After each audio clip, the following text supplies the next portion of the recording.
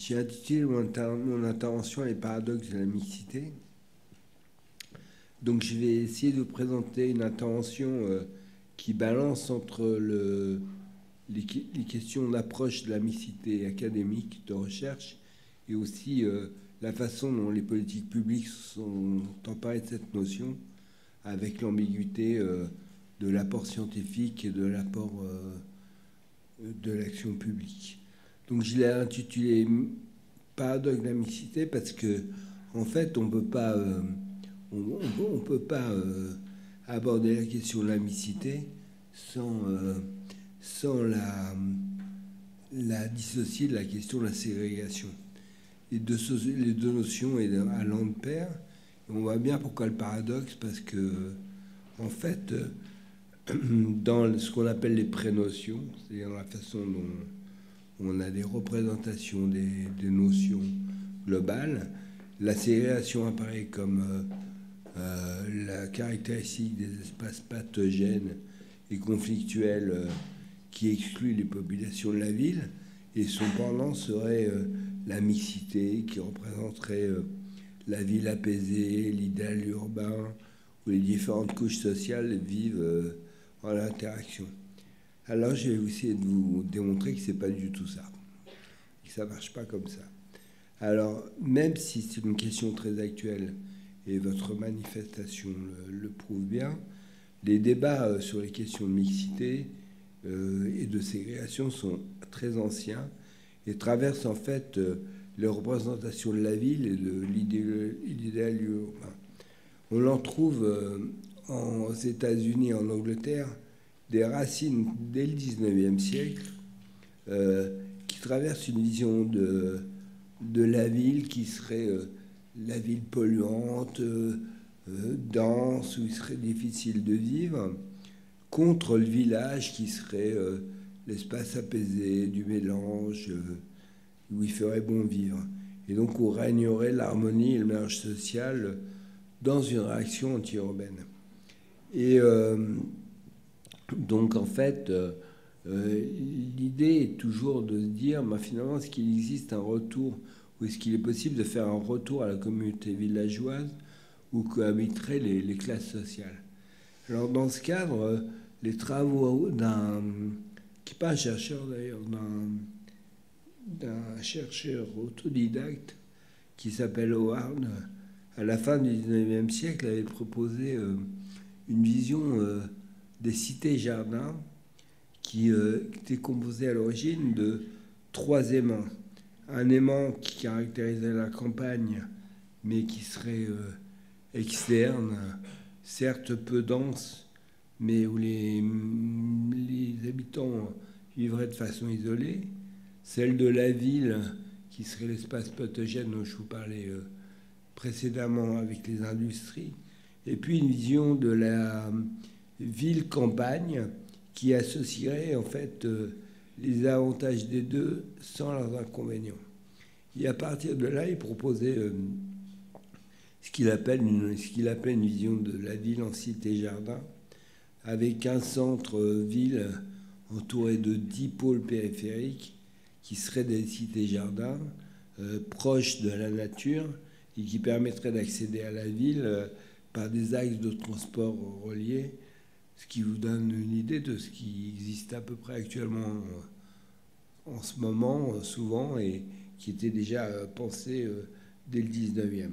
Donc avec en toile de fond l'idée qu'il existerait des quartiers équilibrés, en anglais les Balanced Neighborhoods, portés notamment par d'autres travaux de, sociologues comme Lewis Mumford au début du XXe siècle, dans les années 30. Donc parallèlement à ces travaux, au début des années 30, existaient aussi euh, des travaux des sociologues de l'école de Chicago qui sont relativement connus, je ne sais pas si vous en avez entendu parler, qui ont fait une proposition de recherche publiée dans un livre qu'ils appellent The City. Euh, et ces sociologues s'appelaient Park, Burgess et Mackenzie.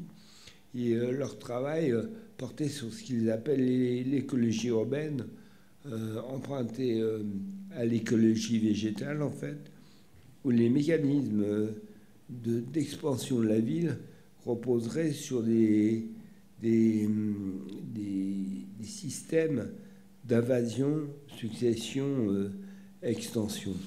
Alors, euh, dans le schéma que vous voyez euh, sur, le, sur le slide, à gauche, Burgess proposait une proposition de peuplement de, de la ville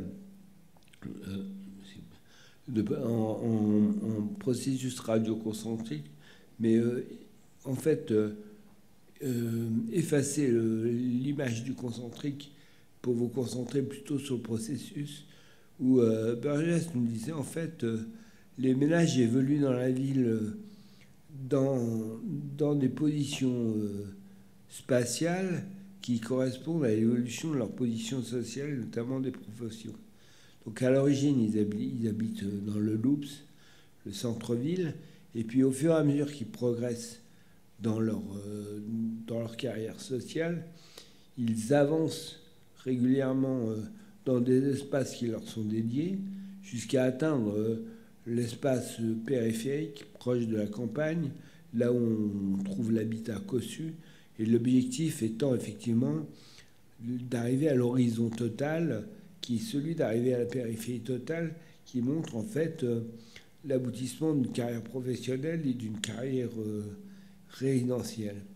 Alors l'idée, c'est que tout le monde ne parvient pas à, à, à, la périphérie et certains restent bloqués dans leur espace dédié, ce qui provoque en fait euh, des mobilités différentielles, j'y reviendrai, où euh, des espaces seraient concentrés avec des formes de ségrégation sociale là où les ménages euh, ne permettraient pas à évoluer et euh, même y compris des ségrégations sociales dans les espaces périphériques, là où habiteraient les ménages qui ont, sont parvenus au bout de leur carrière sociale.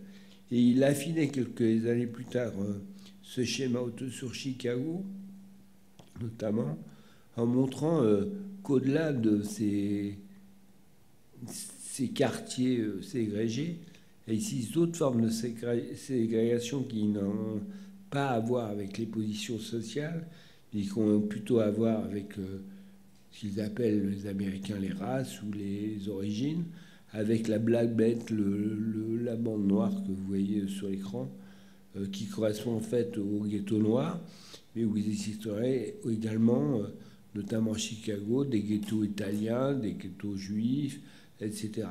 Et nous disait-il, et c'est ça qui est intéressant, c'est que à partir de cette multiplicité euh, de groupes dotés de modes de vie variés, la personne trouve des éléments de son mode social propre et, ce qui n'est pas réalisable dans les limites étroites d'un village, ici en fait entend le quartier, peut se mouvoir et vivre dans des, dans des mondes largement séparés.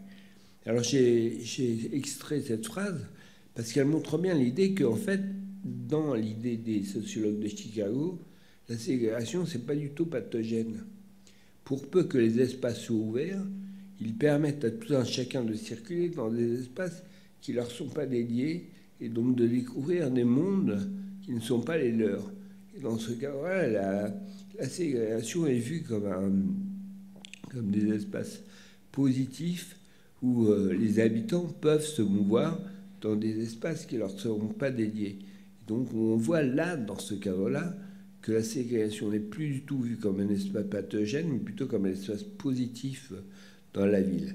Alors les débats sur ces questions entre euh, espace pathogène, mixité, euh, harmonie sociale vont se prolonger euh, tout au long du XXe siècle aux États-Unis, notamment avec un pic dans les années 60 entre des partisans de quartiers hétérogènes socialement, qui serait euh, synonyme de vitalité euh, et opposé à l'ennui euh, notamment des banlieues, qui seraient des espaces très homogènes, avec des travaux comme ceux de James Jacobs, et ceux pour qui la mixité n'est pas systématiquement synonyme de tolérance entre les groupes et pourrait même cacher des inégalités sociales, voire des conflits entre les groupes, avec des travaux comme ceux d'Herbert Gans.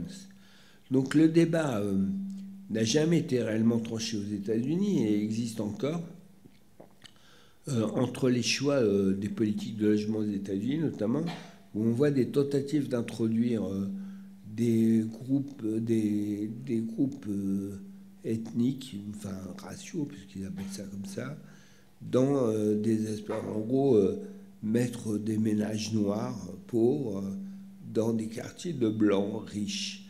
Euh, et sans qu'on ait complètement prouvé que les processus d'intégration fonctionnent et sans qu'on ait réellement prouvé que l'association là entre les minorités noires et les majorités blanches fonctionne réellement. Alors en France, comme aux USA, euh, le débat, même s'il est actuel, il n'est pas nouveau.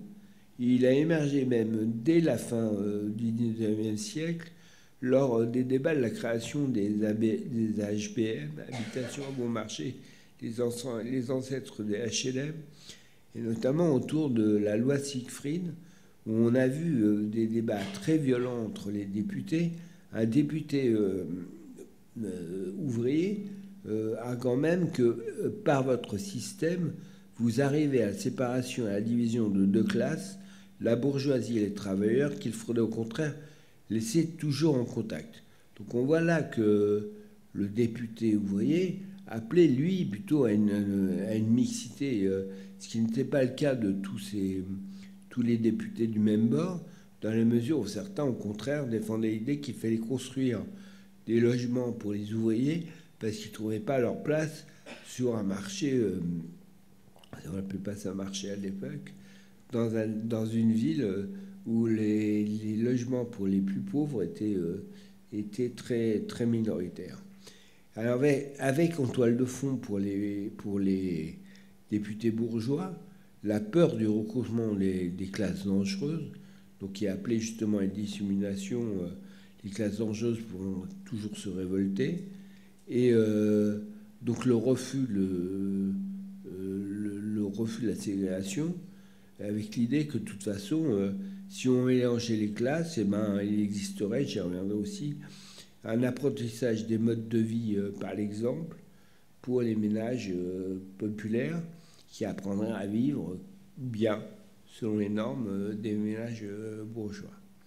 Alors sans être virulente, euh, la question de la mixité va, apparaître encore euh, sous la Troisième République avec euh, la construction des cités-jardins hérités de, du modèle de Howard, mais là pas du tout avec des espaces périphériques, mais plutôt avec des, des, formes de construction qui ne seraient pas des pôles périphériques reliés au centre par les transports, mais euh, qui seraient des, pôles, euh, des, pôles d'immeubles, mais euh, proches de la nature, où on mêlerait en fait nature et immeubles, mais où les ménages quand même seront, seront été séparés selon les profils sociaux et les, statuts des ménages comme, vous ne voyez pas, mais comme on voit l'exemple ici euh,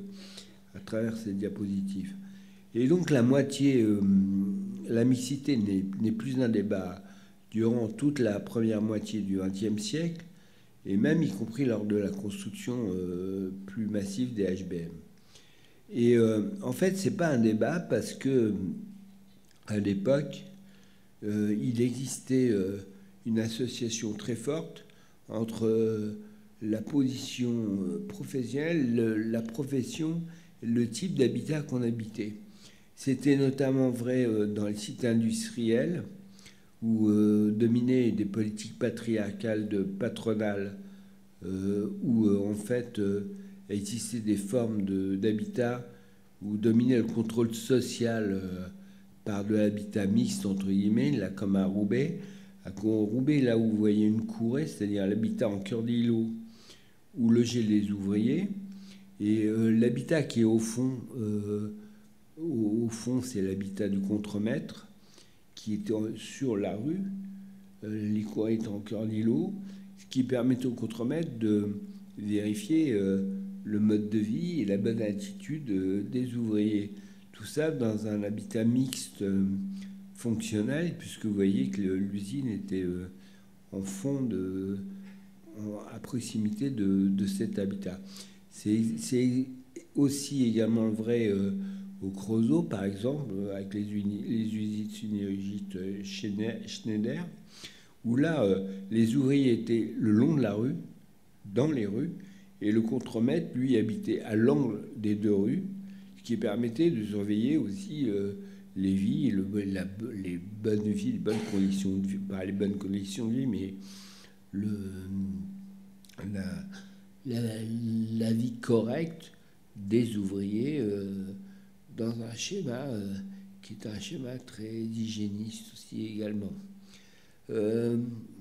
donc, durant cette période, ou quelques années après, les HBL vont également se développer à la périphérie euh, des villes, par exemple à Paris, tout autour de la ceinture euh, parisienne, mais aussi euh, dans, des, dans des communes un peu plus lointaines comme, comme à Bondy, où en fait il était, il, était acquis que les ouvriers devaient avoir des habitats qui leur permettent de vivre dans des bonnes conditions.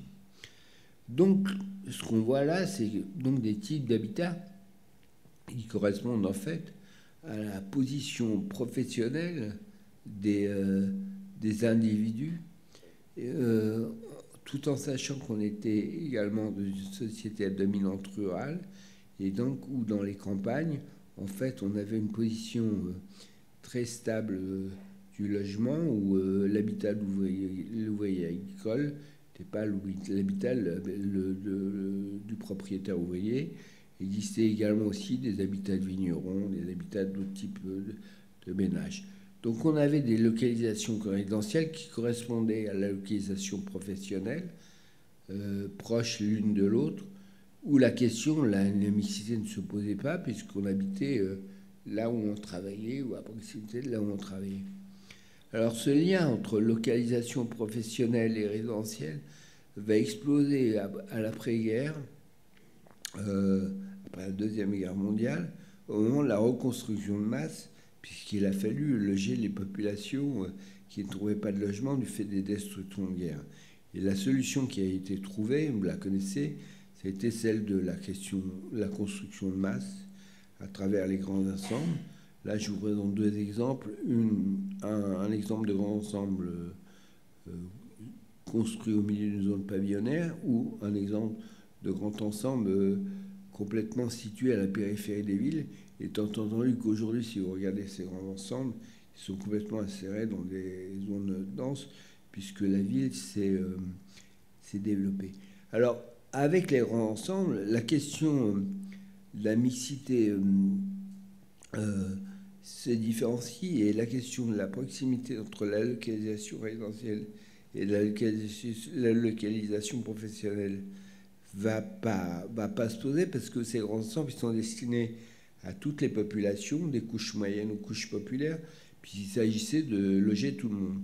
Et à l'origine, ces grands ensembles, qui sont devenus, j'y reviendrai, euh, les espaces synonymes des pathologies euh, urbaines, étaient des espaces destinés à des populations extrêmement mixées euh, socialement, et donc où la question du rapport entre localisation professionnelle et localisation résidentielle ne se posait pas. Euh, donc la construction des grands ensembles euh, est dirigée vers l'âge spectre de population, et en fait, au fur et à mesure de leur construction, la question du logement va peu à peu glisser vers euh, celle d'une lecture non plus euh, euh, uniquement sociale du logement, et d'une lecture socio-spatiale de la, de, la ville.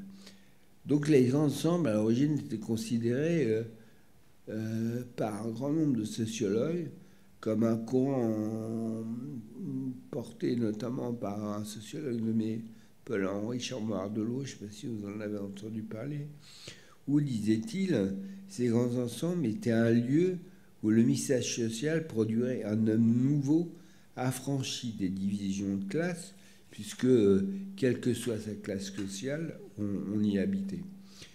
Or, cette idée d'une mixité résidentielle qui fonctionnerait et qui abolirait les classes a été peu à peu par des études mis à mal, et notamment à travers un article paru en 1970 par deux sociologues, Madeleine Lemaire et Jean-Claude Chamboredon, un article qui à l'origine est passé euh, relativement inaperçu, mais qui est devenu au fur et à mesure des évolutions des ensembles comme l'article le plus cité dans la sociologie urbaine française. Alors, euh, Chambord et dont le maire allaient déplacer les termes du débat dans les années 70, en 70 en modifiant euh, ou en montrant plutôt l'inconsistance de la mixité sociale face aux logiques habitantes. Et le titre le montre bien en montrant que en fait c'est pas parce qu'on habitait euh, les uns à côté des autres que pour autant les distances sociales étaient abolies. Alors Chambon et dans le maire a étudié le peuplement et les cohabitations dans un grand ensemble de massifs où, nous dit-il, les trajectoires urbanistiques à l'époque, ce qu'on appelle aujourd'hui les trajectoires résidentielles, étaient différenciées selon les, groupes sociaux? Et qu'en gros, euh, les ménages populaires habitant ces ensembles étaient relativement bloqués dans ces ensembles, tandis que les couches moyennes les couches moyennes supérieures, eux visaient plutôt à quitter ces ensembles pour accéder notamment euh, à la propriété. Et de fait, les uns restaient bloqués dans ces ensembles, tandis que les autres voyaient, euh, voyaient ailleurs et plus loin, comme un peu dans le schéma de, de Borges dont on parlait euh, différemment, précédemment. Donc, ce qui fait que les uns étant bloqués et les autres partant, peu à peu,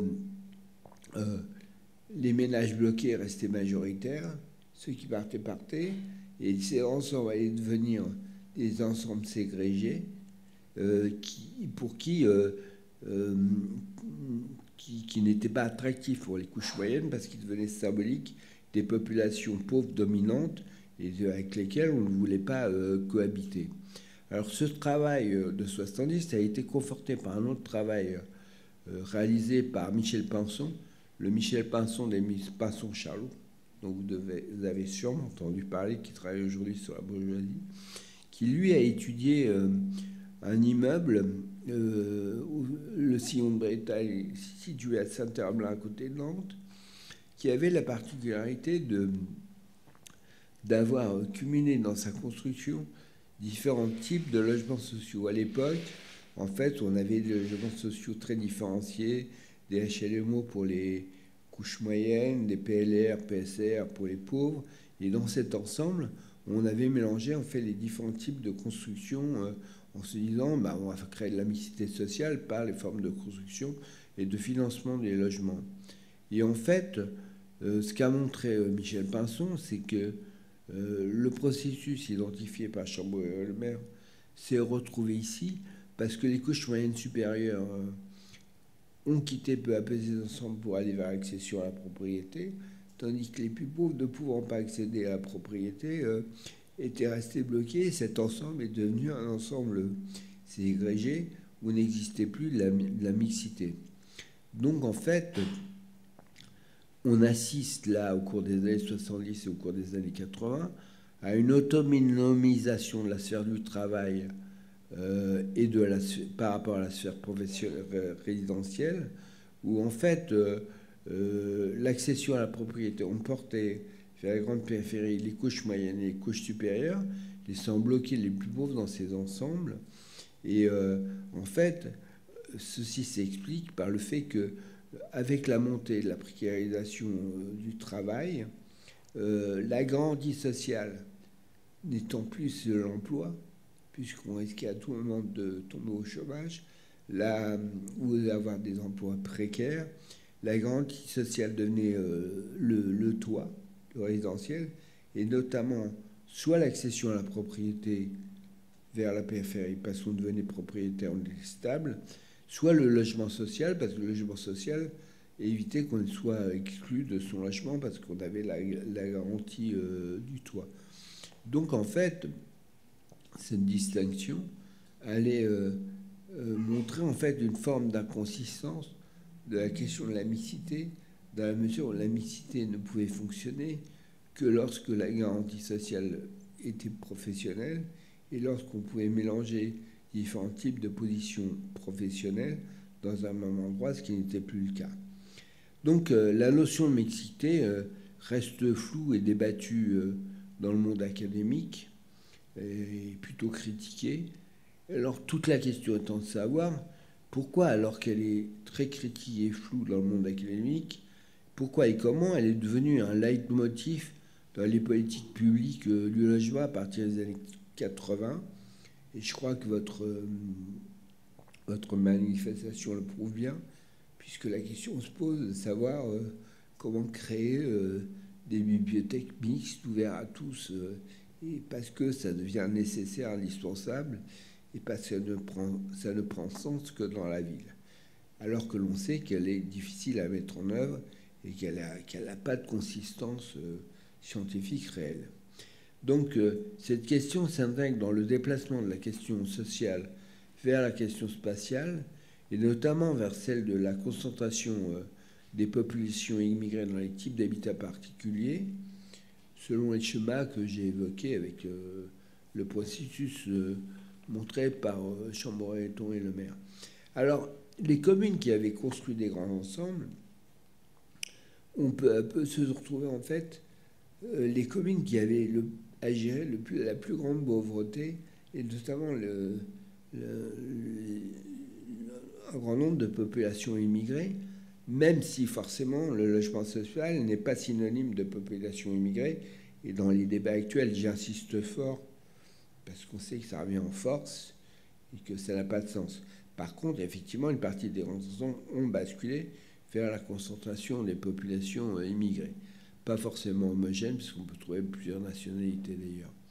Alors, le processus qui avait été entrevu par euh, Chambaud et Le Maire déplacer la question vers la concentration euh, des populations immigrées dans l'habitat social, et donc vers ce qu'on a appelé, ce que les mondes politiques appelaient des ghettos d'émigrés, même si ce n'était pas forcément euh, des ghettos au sens strict du terme. Alors cette question, elle, posée, a été posée initialement euh, par les maires de banlieue qui avaient construit des grands ensembles, et notamment les maires communistes, qui cherchait à stabiliser la population ouvrière et qui finalement se retrouvait à gérer des populations euh, immigrées avec euh, des problèmes forts, notamment dans la concentration des populations immigrées dans les, écoles.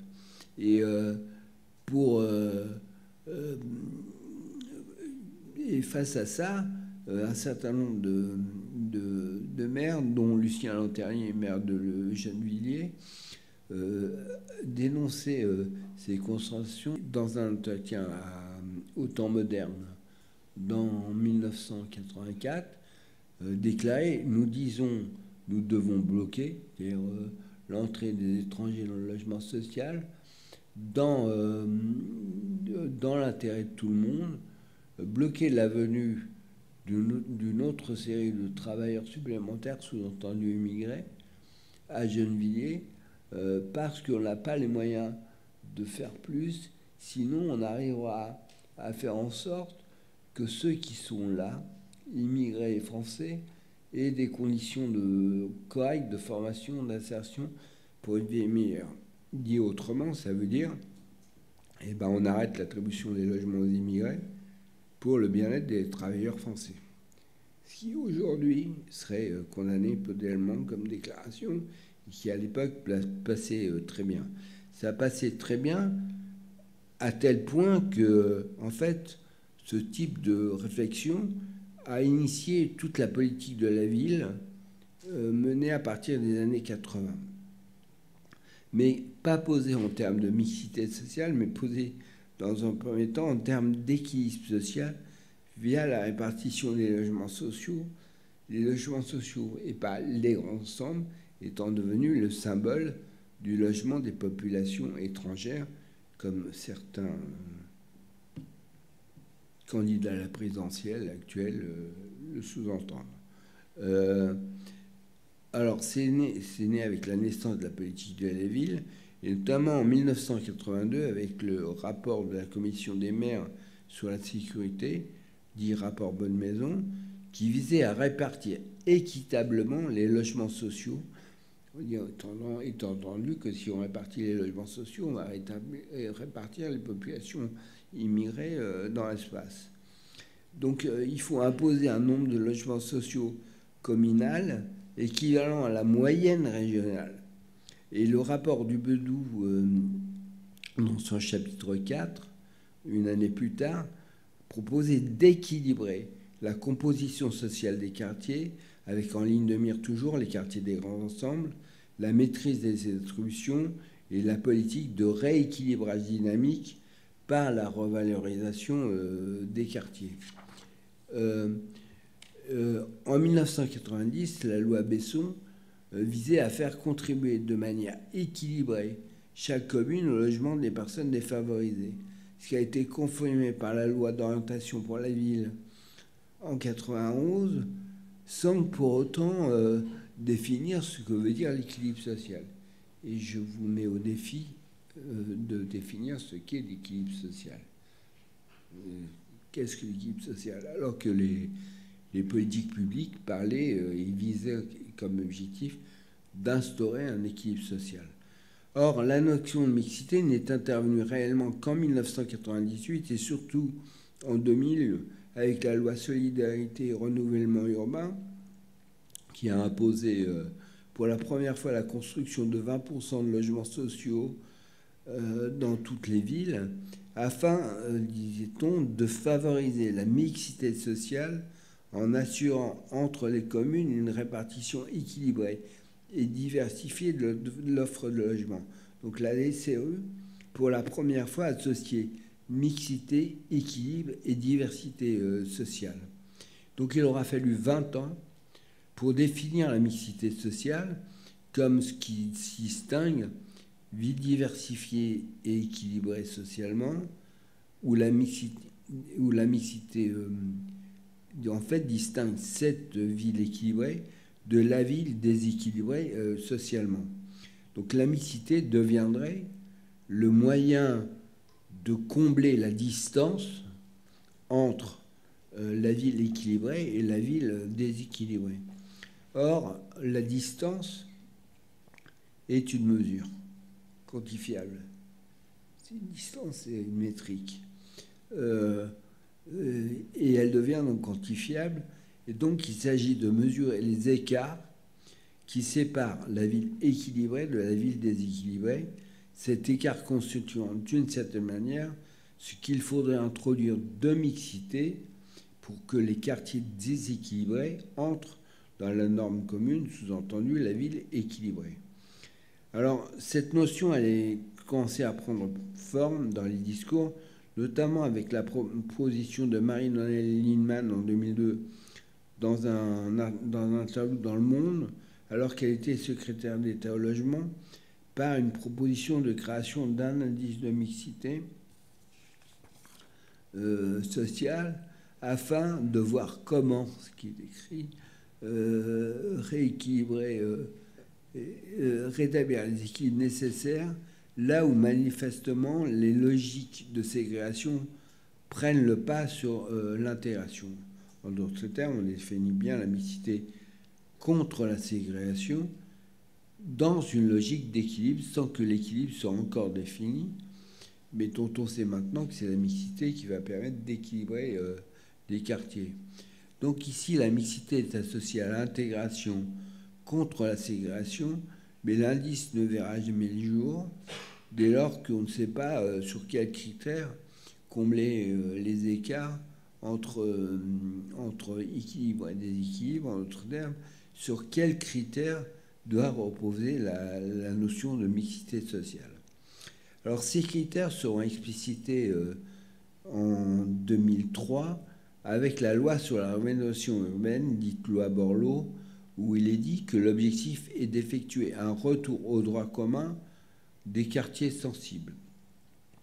Alors la loi sur la rénovation urbaine, j'y reviendrai euh, très rapidement, elle visait en fait à détruire euh, et dédensifier euh, les, les zones urbaines sensibles en détruisant l'habitat social et en introduisant l'accession à la propriété pour les couches moyennes pour, pour créer de la mixité.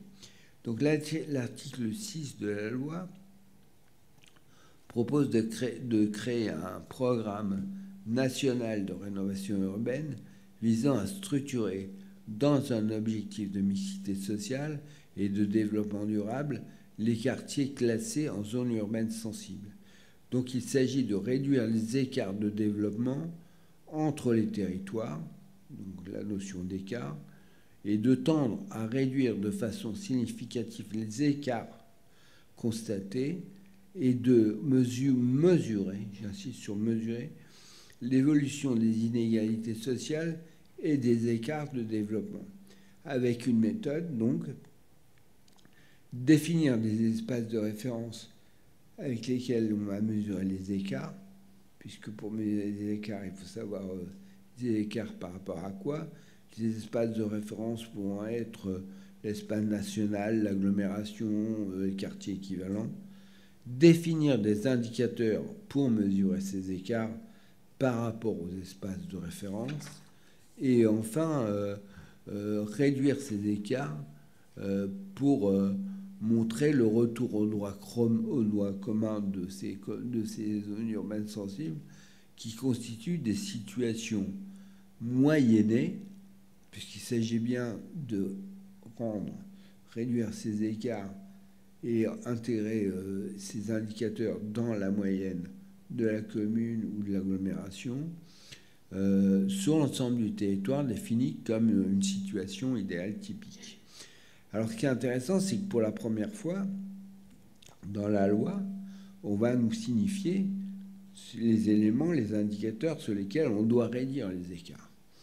Et donc euh, la loi nous dit, ben, par exemple, tout ce qui est relatif au taux de chômage, euh, au nombre de demandeurs d'emploi étrangers résidant dans les zones sensibles, euh, euh, développer l'emploi par l'implantation d'entreprises, regarder le nombre annuel de logements sociaux réhabilités ou construits. Euh, ça a à voir également avec, avec, le sanitaire à travers le ratio de praticiens médicaux et paramédicaux pour 100 000 habitants, le taux de réalisation des prescriptions, c'est écrit dans la loi, hein, des prescriptions de soins à l'issue des bilans de santé scolaire. Ça a à voir également avec les retards scolaires, avec les proportions d'élèves en retard euh, dans certaines classes, le taux de réussite au baccalauréat, la proportion d'élèves boursiers, et puis avec la sécurité, euh, où les atteintes relatives aux atteintes aux personnes et aux biens privés, aux agressions en milieu scolaire, au trafic de, stupéfiants et au traitement et abandon d'enfants. Donc on le voit, ces indicateurs sont globaux il porte sur un large spectre de la vie sociale et économique des individus. Et par contraste, tous les quartiers dans lesquels ces indicateurs ne sont pas moyennés par rapport à l'agglomération à la ville sont des espaces stigmatisés. Et l'annexe 1 stipule bien que la politique de la ville se justifie par l'objectif de réduction progressive des écarts constatés avec les autres villes ou les quartiers et de retour au, droit commun.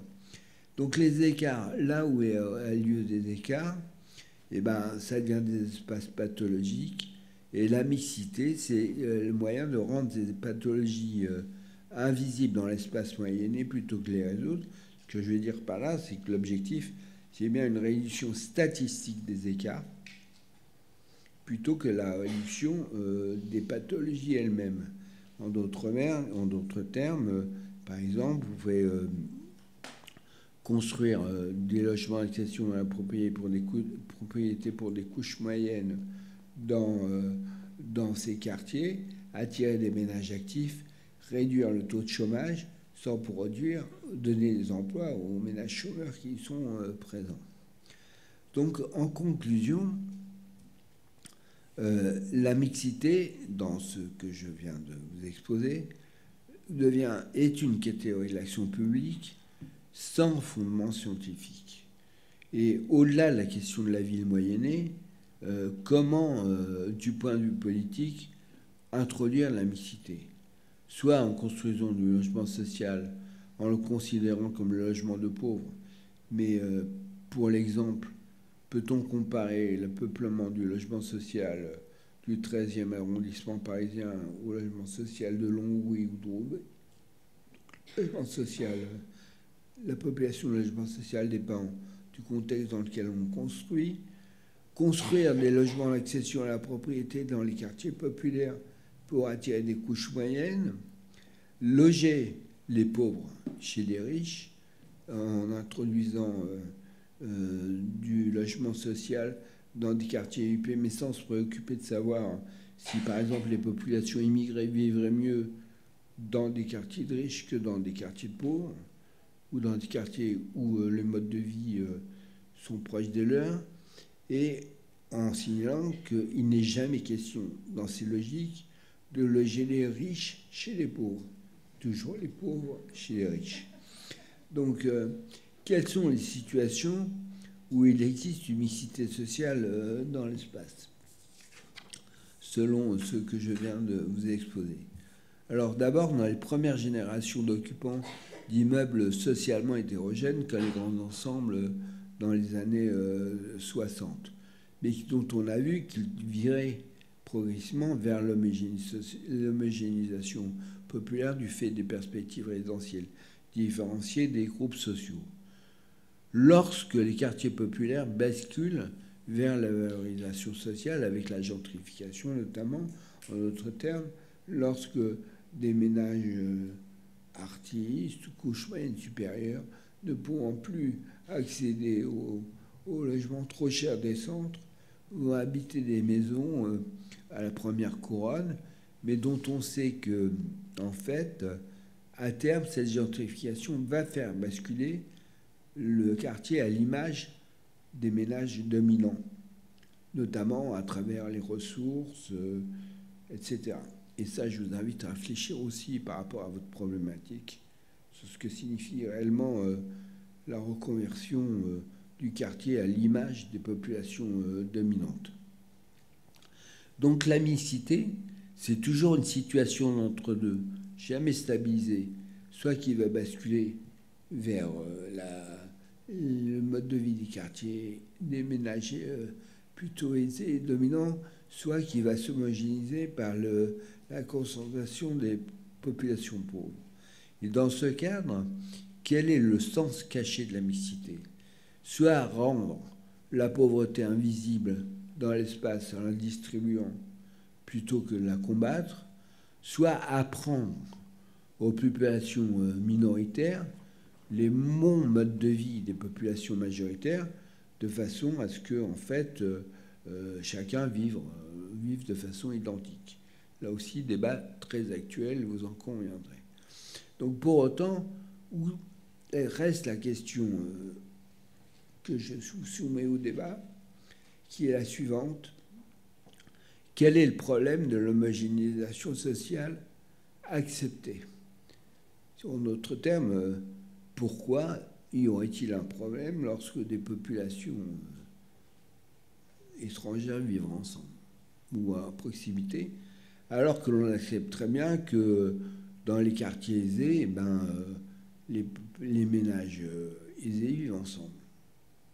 Et donc, pourquoi les quartiers populaires n'accepteraient-on pas, pourquoi n'accepteront-on pas dans les quartiers populaires une proximité sociale?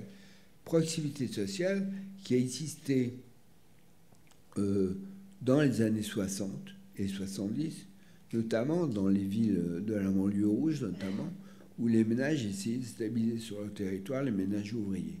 On l'acceptait très bien, là, dans ce cadre-là, des formes de concentration de, de ménages populaires.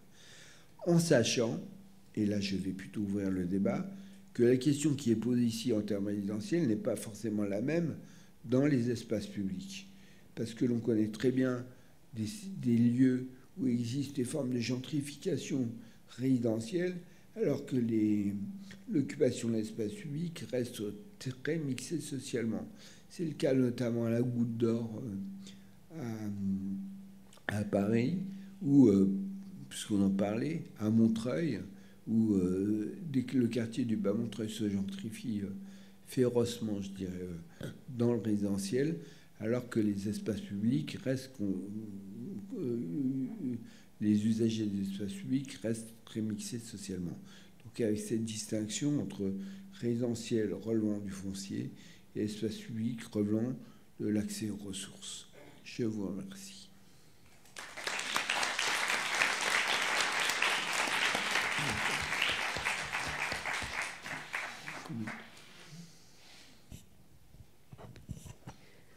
Euh, bonjour, je m'appelle Régine et je travaille à Émile Zola, mais je travaillais avant, donc je l'ai dit ce matin, dans une médiathèque de quartier à La Paillade. Et il y avait, donc, à la fin des années 90, euh, on a euh, créé une magnifique médiathèque dans, en plein centre du quartier populaire de La Paillade. Et ça a été difficile de faire venir des gens du quartier. le quartier de La Paillade étant situé au nord-est, non, au nord-ouest de Montpellier, il y a aussi des villages alentours. Et donc au départ, la médiathèque était surtout fréquentée par les, les gens du quartier un peu, par les enfants, beaucoup, beaucoup des enfants du quartier, et par quelques personnes, enfin des gens qui venaient des villages euh, de proximité. C'est la seule médiathèque où il y avait une ludothèque. Et euh, bon, euh, cette ludothèque a créé le lien avec le quartier faire venir des populations. Et, pour, enfin, moi, j'ai travaillé longtemps dans cette ludothèque, et ça a été un vrai lieu de mixité sociale et culturelle. Parce qu'il y a les mamans du quartier, bon, ça a été difficile à les faire venir, mais au bout d'un moment, elles sont venues très facilement. Et il y avait toutes sortes de publics qui venaient là, même des publics étrangers, c'est-à-dire que euh, la, communication était faite sur le fait qu'il y avait une ludothèque là, donc des populations qui venaient en vacances à Montpellier et qui venait aussi à Jean-Jacques Rousseau, à la ludothèque, pour, avec les enfants, etc. Et hum, donc j'ai travaillé longtemps dans cet endroit-là. Euh, à la fin de mon parcours là-bas, la ludothèque, enfin, la ludothèque et la médiathèque avaient une grosse, grosse fréquentation et on a mis en place un système de, de tickets enfin, pour entrer à la ludothèque parce qu'il y avait une jauge de fréquentation. On ne pouvait pas accueillir plus. on s'est retrouvé à elle fait à peu près 250 mètres carrés. Il y avait plus de 100 personnes dans cette ludothèque et c'était beaucoup trop. Donc on a dû un peu euh, limiter l'accès. Et en fait, euh, ben, on a donné des tickets et, du coup, il y a moins de mixité parce que les tickets, on les donne aux gens qui viennent les chercher en début, d'après-midi. Et du coup, ça a un peu limité l'aspect euh, mixité. je, je, dis ça parce que quand vous dites enfin, rendre la, pauvreté invisible plutôt que la combattre et apprendre aux populations dominées les bons modes de vie des populations dominantes, c'était pas du tout notre propos. Et c'est jamais ce qu'on a vu dans la ludothèque, en fait. Et on a vu ces populations ensemble euh, se côtoyer, les enfants jouer ensemble. Et ça, c'est, enfin, franchement, dans ma, carrière là-bas, j'ai jamais eu de problème euh, de, population dominée ou dominante. Quoi. il y avait toujours une grande, un grand respect mutuel. Voilà. Et la deuxième chose que je voulais dire aussi à propos de, mixité, enfin de ce quartier pailladin, euh, pour avoir travaillé avec, avec la population là-bas, je me suis rendu compte aussi de ce que disaient les gens, que la population euh, immigrée qui venait à la paillade n'était pas forcément ghettoisée, mais c'est des gens qui venaient là pour retrouver une communauté. C'est-à-dire qu'il y a des gens qui venaient à la paillade parce qu'il y avait d'autres, enfin, il y avait la même communauté que la leur, et pas forcément parce qu'on les avait ghettoisés là, quoi. Voilà. Alors, euh, là, je parlais de la mixité résidentielle, on est bien d'accord, et c'est pour ça que j'ai fait un écart euh, sur les espaces publics à la fin de mon propos. Mais euh, tout de même, moi, je ne connais pas la situation que vous évoquez, je parlais des ménages adultes, pas des enfants. Ce qu'on voit dans les ménages, dans les dans les zones gentrifiées notamment, ce qu'on en maternelle, en ce qui concerne le scolaire, on voit un vrai mélange euh, un vrai mélange social, ethnique, etc., des enfants. À l'école primaire, le mélange se réduit, et puis au collège, il y a totalement scolaire maximum, et, et les populations tendent à s'homogénéiser. Donc ce qu'on voit dans les formes de cohabitation entre enfants n'est pas nécessairement, vrai dans les comportements euh, des adultes. Ensuite, le fait qu'ils viennent, je parle des adultes, au même endroit ne veut pas forcément signifier qu'ils viennent y faire la même chose.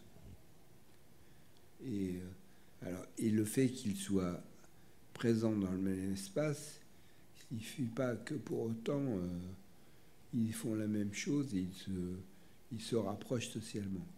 Donc la question, euh, la question se pose réellement parce que c'est pareil dans les espaces publics quand on voit des formes de cohabitation d'usage dans l'espace public, ça ne veut pas dire que les différents groupes ils pratiquent l'espace de la même manière. Donc moi, ce que j'essayais, euh, ce sur quoi j'essayais d'attirer votre attention, c'est sur le fait que la mixité devient le leitmotiv unique des politiques publiques, alors que les systèmes de côtoiement ne euh, sont pas forcément exclusifs. J'essaye je, de, vous montrer par là qu'en fait, euh, la question de la mixité euh, ne réduit pas les, ne réduit pas les, les, écarts entre les couches sociales. Et que la question, elle est, plus, complexe. Et puis, euh,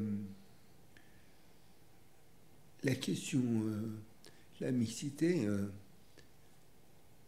c'est un détournement des des écarts sociaux, concrètement. Je veux dire, euh, on dit euh, on va créer de la mixité comme si on allait réduire les écarts sociaux. La mixité, ça n'a jamais réduit les écarts sociaux. Ce qui réduit les écarts sociaux, euh, c'est les questions sociales, la réduction des questions sociales. C'est les progressions sociales les possibilités de, de, plus être précaire dans son travail, c'est euh, des questions économiques et sociales. La mixité, c'est pas un panacée de réduction des questions sociales, même si culturellement euh, c'est important. Et à cet effet, euh, le maire de Gennevilliers, dont je citais l'entretien précédemment, son problème, c'était certes le fait qu'il y avait beaucoup de, de population immigrée dans les ensembles, mais ce n'était pas ça son problème principal. Son problème principal, c'était que dans les classes, il y avait essentiellement des populations immigrées. que là, il y avait des problèmes relatifs à l'évolution scolaire, et effectivement là, des différenciations qui accentuaient les écarts de classe avec des impossibilités d'évoluer euh, progressivement euh, avec l'ascenseur social. Donc en fait, la question est complexe, elle n'est pas univoque. Je ne vais pas en compte de ce que vous dites. Je dis simplement euh, la question, la question doit être posée et réfléchie. Et c'est pas parce qu'on voit des populations différenciées dans un même lieu que les écarts de classe se réduisent.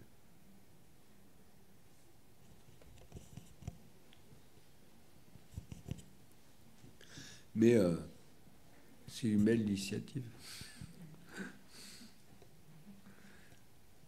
Donc merci pour votre, votre exposé. Je me posais juste une question par rapport à ce qui été dit ce matin et en rapport à ce que vous venez de dire. Sur l'enjeu de l'après-midi, la, de, c'est les enjeux démocratiques en particulier. Et est-ce que euh, la question de l'urbanisme n'est pas un alibi au niveau de, les, destructions des banlieues euh, à droite, à gauche pour soi-disant réduire l'écart social, n'est pas un enjeu, euh, comment on pourrait dire ça, de tentative de réduire l'écart social et politique entre les populations sous prétexte, à une période, ça a été le sport pour tous dans les banlieues, et désormais, il y a une dizaine ou vingtaine d'années, c'était la culture, et en particulier les bibliothèques et l'enjeu de l'accession à les lectures pour tous n'est-il pas un enjeu de ce que vous nous avez en gros expliqué. Je ne sais pas si je suis très clair, mais... Non, mais encore une fois, euh, ce qui se joue euh, dans les tentatives de réduction des formations culturelles ou dans l'accès à la culture n'est pas forcément euh, synonyme, synonyme de ce qui se passe dans, le quartier. Ce, que je veux dire, c'est ce dont j'essaie de vous alerter, c'est c'est pas parce que vous allez créer une médiathèque ou dans un espace dit mixte que cet espace va stabiliser euh, du point de vue de la mixité. Et euh, l'idée de dire euh, on va réduire les écarts sociaux parce qu'on va s'installer dans des quartiers dits mixtes, c'est un leurre. Parce que du point de vue résidentiel, ce que j'essaye de vous dire, c'est que la mixité sociale n'existe pas. Ça, ça, on le sait.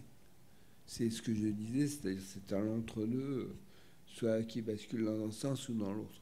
Après, euh, le fait. C'est pareil que dans le scolaire. Je pense que moi, dans le milieu scolaire, il faut favoriser la mixité sociale.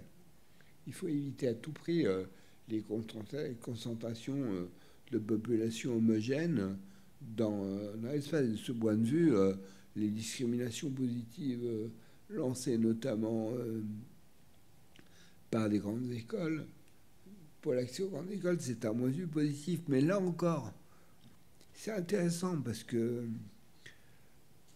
prenons la discrimination positive de Sciences Po. C'est hyper intéressant parce que ils, ont réajusté leur politique. Mais dans un premier temps, ce qu'on a observé, c'est que les enfants qui profitaient de la discrimination positive, c'était euh, les enfants euh, des intellectuels qui habitaient les couches, dans les quartiers des couches populaires. Par exemple. Ce qui n'est pas forcément négatif, parce que ces enfants des, couches intellectuelles, ils avaient fait toute leur scolarité dans, euh, dans des écoles où dominaient les, les, milieux populaires.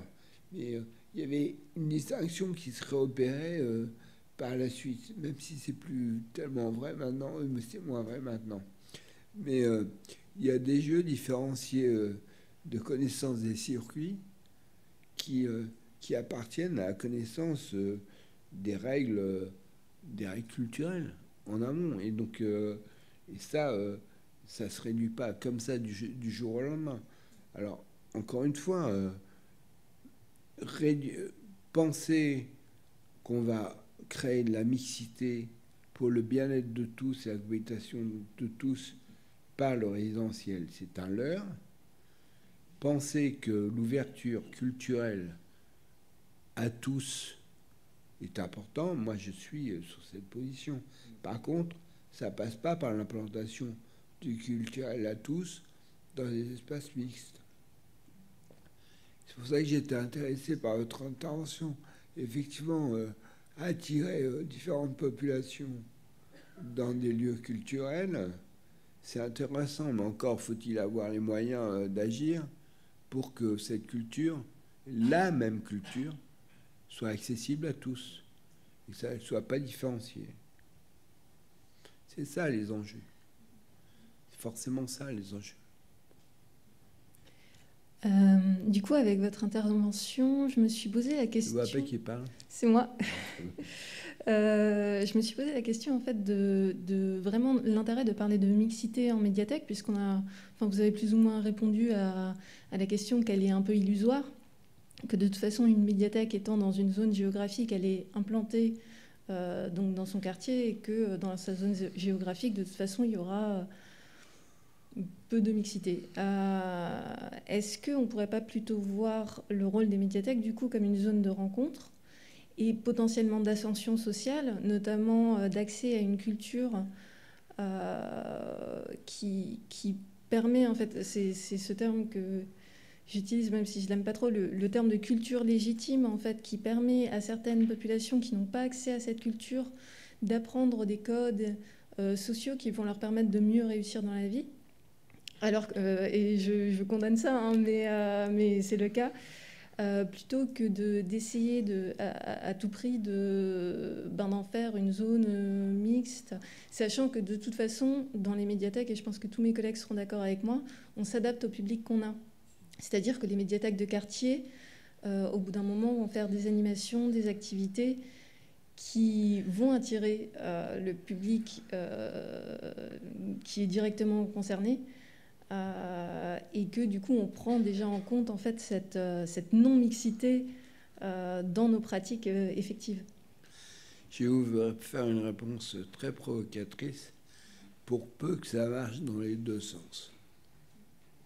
Oui, c'est. Pour peu que ça marche dans les deux sens. Mais le problème, c'est toujours. Pour peu que les, les codes des uns soient aussi appris par le code des autres. Oui, mais ça, on peut, on peut toujours rêver. non, non, non.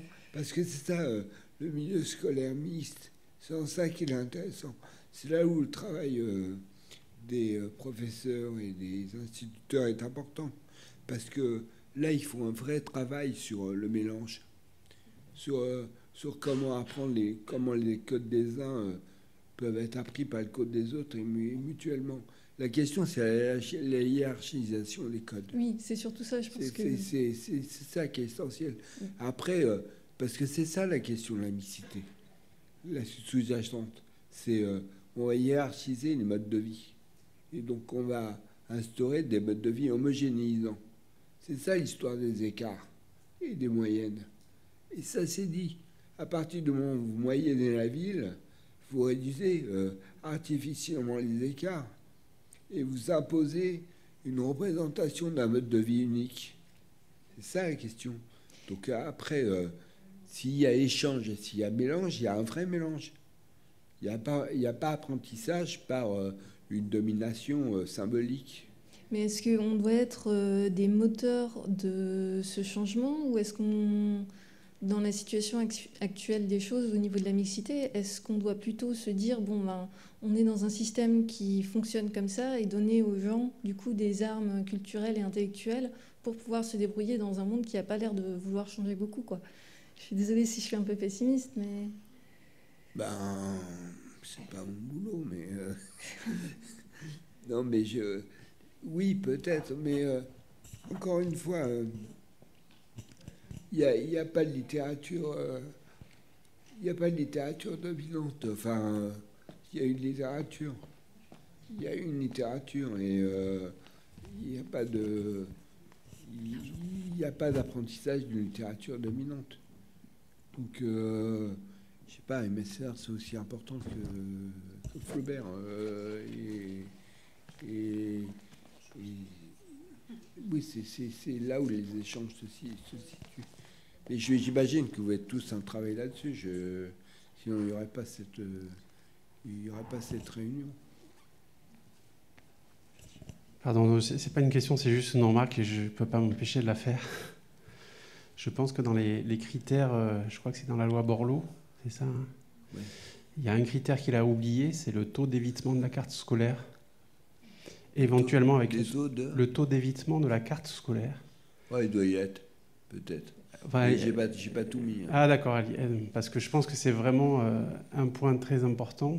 Et effectivement, les départements qui travaillent sur cette mixité de, du recrutement et de la zone sur les collèges se heurtent à des très grandes difficultés d'ordre politique et de concertation avec les populations. Et, un département qui est assez en pointe euh, sur ces questions-là se trouve en Occitanie, c'est le département de Haute-Garonne qui a détruit trois euh, collèges dans les cinq dernières années pour les réimplanter avec une redéfinition euh, de, de, de, la carte scolaire, et ce qui a posé vraiment beaucoup, beaucoup de difficultés. Mais on, verra dans les années qui viennent si ça, si ça permet d'avoir une augmentation euh, du taux de réussite au bac, du taux de réussite au brevet, etc. etc.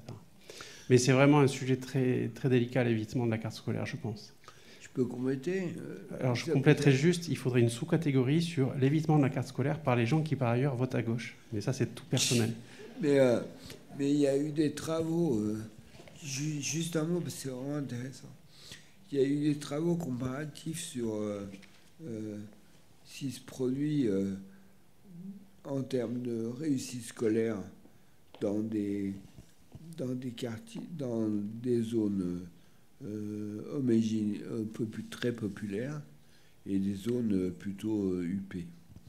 Et à partir du taux de réussite au, brevet, avec le contrôle continu et le contrôle final.